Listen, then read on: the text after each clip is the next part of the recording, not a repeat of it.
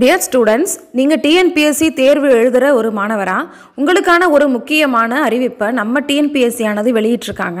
அது என்ன அறிவிப்பு அப்படிங்கிறத பார்க்குறதுக்கு முன்னாடி இது வரைக்கும் நம்ம லலித் அகாடமி சேனலை நீங்கள் சப்ஸ்கிரைப் பண்ணலைன்னா உடனடியாக சப்ஸ்கிரைப் பண்ணுங்கள் மறக்காமல் பக்கத்தில் இருக்க அந்த பெல் சிம்பலையும் கிளிக் பண்ணுங்கள் அப்போ தான் எங்களுடைய அடுத்தடுத்த வீடியோஸ் அப்டேட்ஸ் உங்களுக்கு உடனடியாக வந்து சேரும்.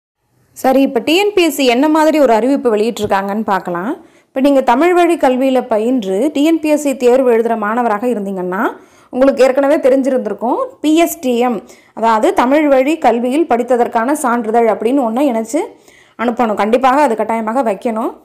அது அந்த சான்றிதழில் வந்து என்ன மாதிரியான ஒரு திருத்தம் சொல்லியிருக்காங்க அப்படின்னா தேர்வர் ஒன்று முதல் பத்தாம் வகுப்பு வரை அல்லது பன்னிரெண்டாம் வகுப்பு வரை வெவ்வேறு பள்ளிகளில் படித்துள்ளார் எனில் தான் படித்த ஒவ்வொரு பள்ளியிலும் தனித்தனியாக சான்றிதழ் பெற வேண்டும்.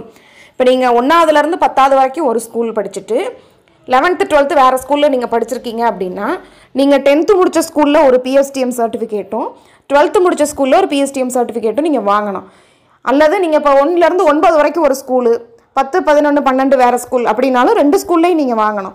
அல்லது எட்டாம் வகுப்பு வரைக்கும் ஒரு ஸ்கூலு ஒன்பது பத்து ஒரு பள்ளிக்கூடம் அல்லது பதினொன்று பன்னெண்டு வேறு ஸ்கூல் அப்படிங்கும்பொழுது நீங்கள் ஒரு ஒரு பள்ளியிலையும் தனித்தனியாக நீங்கள் இந்த பிஎஸ்டிஎம் சான்றிதழ் வாங்கி கண்டிப்பாக இணைக்கணும்.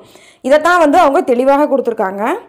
அது மாதிரி டிகிரிக்கும் கேட்டிருக்காங்க. இளநிலை அல்லது முதுநிலை இதெல்லாம் இதெல்லாம் மாதிரியான ஒரு படிப்புகளுக்கும் கேட்டிருக்காங்க. நீங்கள் இளநிலை ஒரு கல்லூரியில் முடித்து முதுநிலை வேறு கல்லூரியில் முடிச்சிருந்தாலும் அதுக்கான தமிழ் வழி கல்வியில் படித்ததற்கான சான்றிதழை நீங்கள் தனித்தனி கல்லூரியில் கண்டிப்பாக வாங்கி இணைச்சி அனுப்பணும்.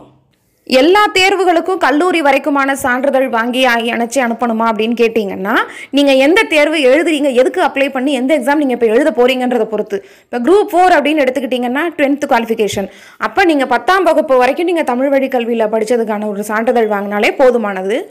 இப்போ நீங்கள் குரூப் ஒன் குரூப் டூ இந்த மாதிரி தேர்வு எழுதுறீங்க அப்படின்னா இப்போ டிகிரி தேவைப்படுற ஒரு தேர்வு எழுதுறீங்கன்னா அதுக்கு நீங்கள் வந்து இளங்கலை முதுகலை இதுக்கான க- கல் தமிழ் வழி கல்வி சான்றிதழ் வந்து நீங்கள் இணைக்கிற மாதிரி இருக்கும்.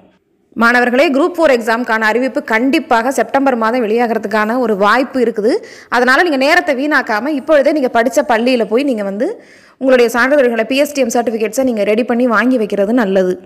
நேரம் இருக்கும் பொழுதே இந்த வேலையை நீங்கள் பார்த்துட்டீங்கன்னா அப்போ அப்போதைக்கு உங்களுக்கு எக்ஸாம் டயத்தில் உங்களுக்கு டென்ஷன் இருக்காது. மாணவர்களே இது போன்ற அப்டேட்ஸை நீங்கள் உடனுக்குடன் தெரிஞ்சுக்கணும்னா எங்கள் லலித் அகாடமி சேனலில் மறக்காமல் சப்ஸ்கிரைப் பண்ணுங்கள் மறக்காமல் அந்த பெல் ஐக்கானையும் கிளிக் பண்ணுங்கள் மீண்டும் அடுத்த கிளாஸில் சந்திக்கலாம். தேங்க்யூ